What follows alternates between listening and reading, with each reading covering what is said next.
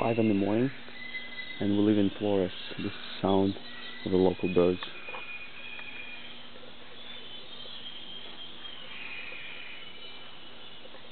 Really incredible. You get it almost